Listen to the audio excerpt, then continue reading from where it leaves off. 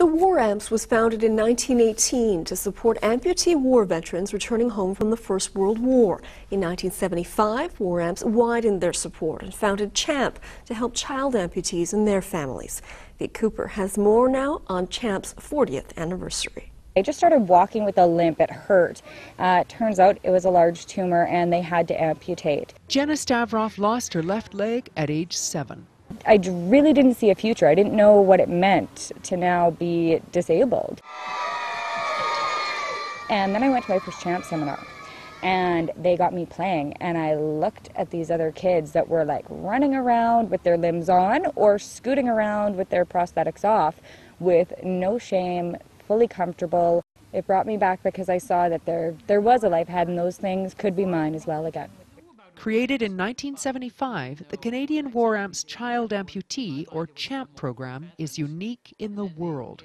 One of the main things is provides financial assistance so that kids can get everyday walking limbs and more importantly recreational limbs because there's no coverage across the country at all for things like limbs that'll help you ride a bike or ride a horse or be able to go swimming and those are everyday things that kids really want to take part in. This would have been his second leg, and this was his very first leg. Alex Van Tol's son Ethan was born with a rare bone disease in his foot.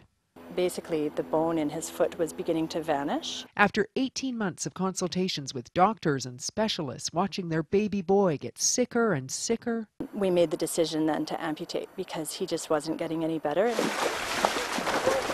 Ethan's now 11, and Champs has been supporting the Van Tols every step of the way, from prosthetics as his body grows. He's gone through a number of swim legs. I think this is probably his fifth, perhaps, swim leg. To programs that support the family. Matching mothers is terrific because War Amps will pair you with another mom or dad uh, who's been through it or who is going through it at the same time so that you can share ideas, share information, ask a ton of questions, get the kids together. Now in its 40th year, this remarkable support network, funded entirely through donation, is empowering child amputees across this country.